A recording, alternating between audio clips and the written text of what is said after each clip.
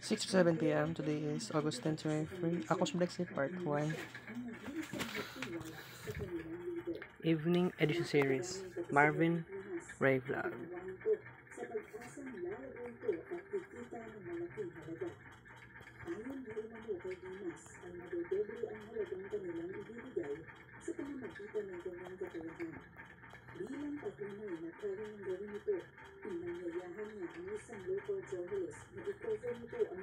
Gaganating prayer meeting at charity event sa ng foundation.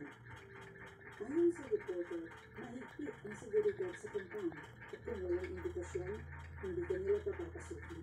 Pero dahil personal siyang inanyayahan ni Dimas, marahil upang gawing witness o bakal na patotoo, at dahil ng doblehin ang halaga ng pera, magkapasok siya ng walang sagabal. Sa madaling salita, nasaksihan niya kung paano ito ginawa ni Dimas sa kanyang harapan. Inanyayahan siya nito na pumasok sa sala ng compound at doon ay inutusan niya ang reporter na kapkapan siya nito. Sumunod ang reporter at pagkatapos noon ay nakaupo ito at saka inilagay sa likuran ang kanyang mga kamay.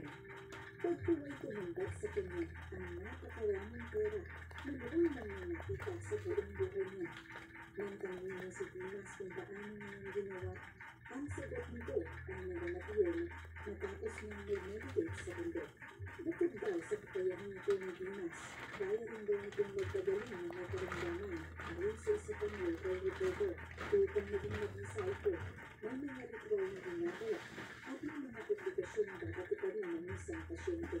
Alamang nini-involve na pera ang tinatawag na obligasyon nito ng mga pasyente ng nais gumaling. Si Muhammad Ali sa kabilang bako ay walang balak ibigay ang lahat sa foundation. Ngunit sa tulis ng mga salita ni Dimas na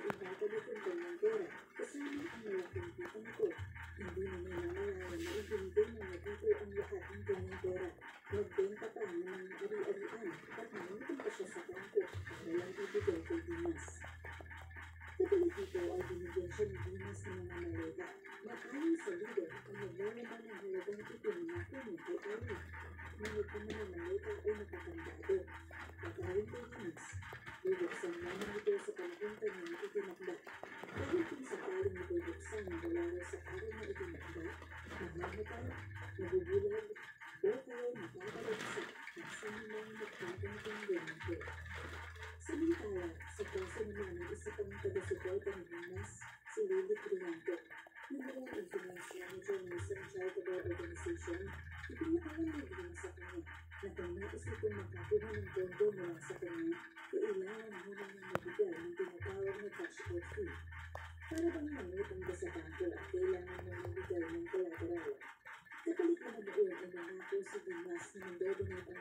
Nito sa paggawa ng ospital na proyekto ng charity na kinabibilang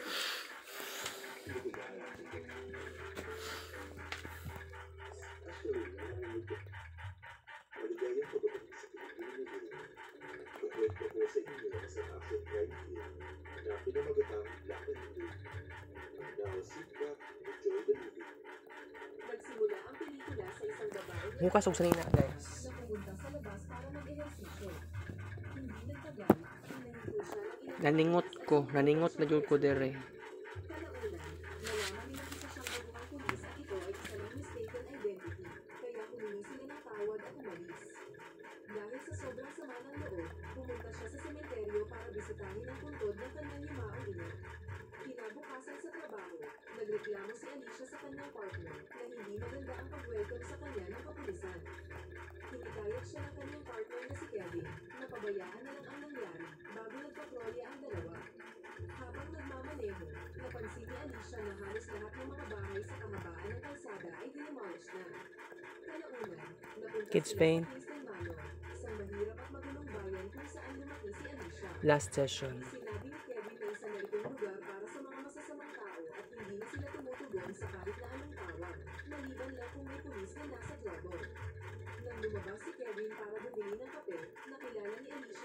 Alicia ang nagngangalang Jamal. Habang nag-uusap ang dalawa, nagpakita ang ina ng bata at sinigawan si Jamal na lumayo kay Alicia. Pagkatapos, agresibo nang binalaan si Alicia na lumayo sa kanyang anak at kung hindi ay makakatikim siya. Nang makita ito, ang storekeeper na si Mouse ay namagitan na sa dalawa at sinabi kay Alicia na ayaw nila ng dugo. Nakilala ni Alicia ang ina ni Jamal bilang si Missy, ang dati niyang kaibigan noong bata pa siya kaguluhan, umalis na si Missy kasama ang kanyang mga tauhan sa gang.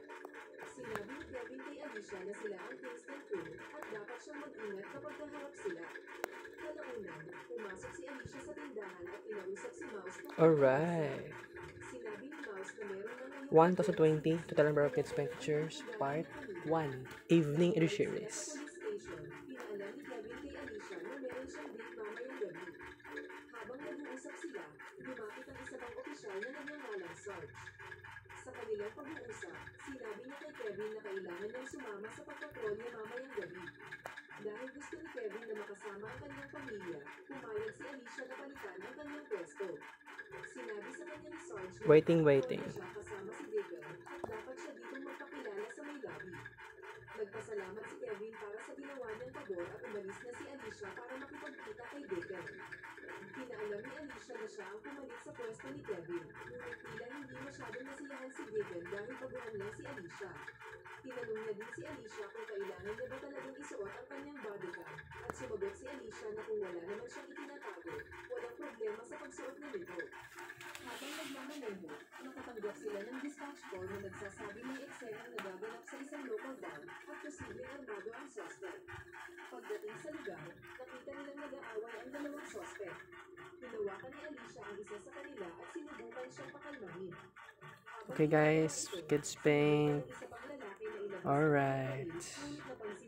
Deacon at tinigilan siya.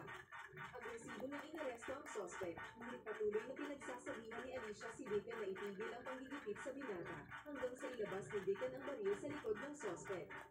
nang lumabas sila para maghapunan, humingi ng tawad si Alicia kay Deacon at nagpasalamat sa pagligtas sa kanyang buhay.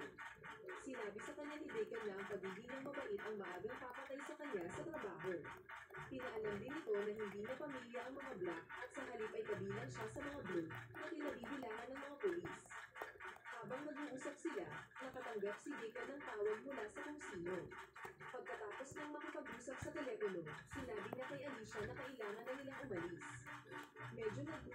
Medyo nagduda si Alicia dahil natanggap ni Deacon ang utos sa kanyang personal na cellphone at hindi ito dispatch call mula sa kapulisan. Pagdating sa lugar, tinanong ni Alicia si Deacon kung anong ginagawa nila doon. Inutusan siya ni Deacon na manatili sa sasakyan dahil nakikipagkita siya sa isang informante.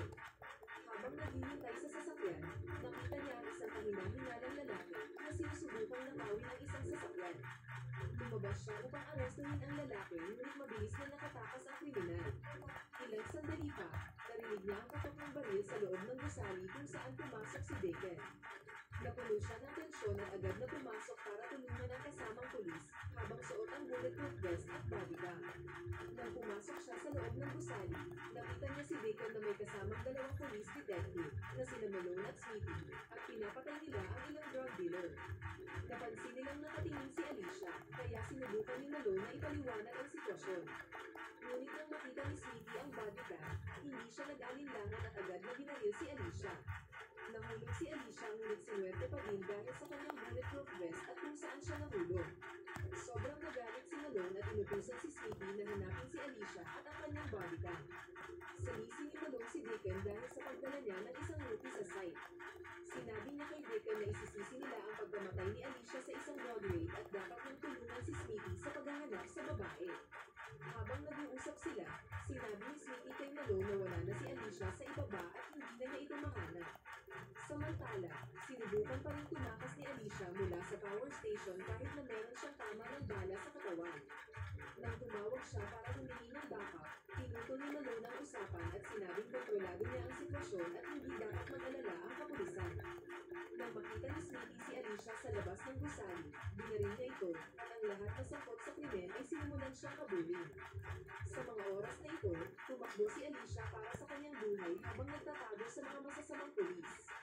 Sinubukan niyang humingi ng tulong sa mga residente ngunit pinaalis siya ng mga ito at sinabing ayaw nilang masangkot sa gulo.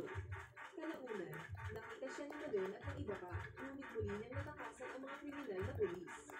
Pagkatapos niyang matakasan si Malone, nakasalubong niya ang isang patrol car.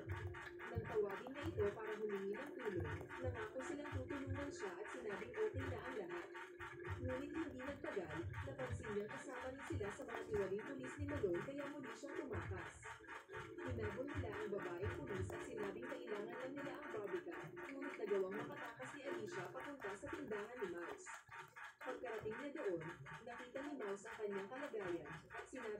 Kanyang hindi siya maaaring manatili sa tindahan at kailangan niya nang umalis doon. Ipinaliwanag ni Alicia na binaril siya ng mga pulis at kailangan niya lang matawagan ang kanyang partner. Habang kausap si Erin, sinabi niya dito ang tungkol sa insidente at kailangan niyang ma-upload ang footage mula sa body cam sa istasyon ng pulis. Matapos niyang kausapin si Kevin, biglang pumatok sa tindahan ang dalawang pulis. By the way, guys, last session.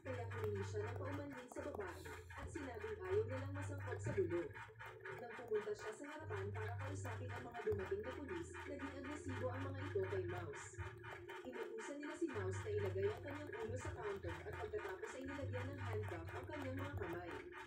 Habang nagpupumiglas siya, pinapunta ng pulis ang kanyang kasamahan sa likuran upang hanapin si Alicia at para tingnan ang ID ni Mouse. Matapos malaman na malinis ang record ni Mouse, pinakawalan na nila ang lalaki. Pagkatapos, tumanggi si Mouse na sabihin sa kanila kung bakit pa talaga siya tumawag at gumawa ng maling kwento dahil sa masamang paraan ng pagtrato nila sa kanya. Nang wala na sila, dahil sa hindi niya pagsumbong sa kanya. Sinabi ni Alicia na kapag tumigil na ang pagdurugong ng Okay. aalis din siya sa tindahan. Alright. Gumamit siya ng glue upang isara ang kanyang sugat, isang trik na natutunan niya nung nasa Iraq pa siya. Pagkaraan ng ilang sandali, dumating si Kevin sa lugar. Habang ipinapaliwanag ni Alicia ang mga bagay-bagay, nalaman niya kasama rin si Up Kevin part sa 2 guys. Thank you for watching.